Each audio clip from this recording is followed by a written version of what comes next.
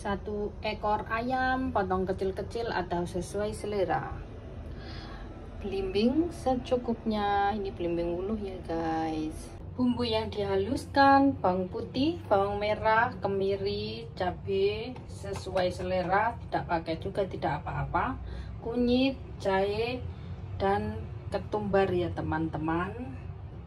Kemudian ini bumbu cemplung. Ada tomat belimbing wulu lengkuas terus daun serai ini cabai daun jeruk daun salam dan cabai keriting diiris-iris. Jangan lupa kemanginya dikasih yang paling terakhir setelah semuanya masuk dan sebelum dimatikan kompornya.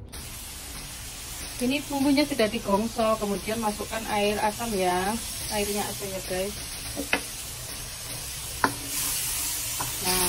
seperti ini. Kemudian kita masukkan ayamnya. Kecilkan dulu ya.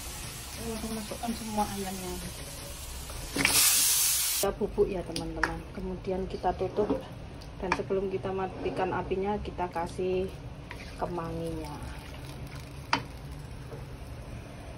Guys sudah aku masak sekitar 25 menit ya. Kemudian kita masukkan bumbu cemplung dan kita aduk rata.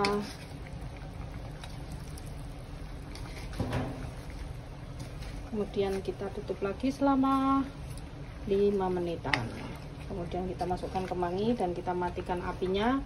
Kemudian kita tunggu sampai dingin terus kita bungkusi. Wow.